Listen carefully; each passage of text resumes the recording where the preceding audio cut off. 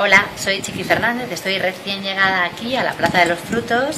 Eh, soy la mujer de Paco, un soñador que quiere ir a América. Tengo un hijo guapísimo que se llama Américo y a partir de esa tarde iréis descubriendo todo lo que nos pasa. Creo que es una familia muy entrañable y, y un beso muy grande a todos los fans de Amar para siempre.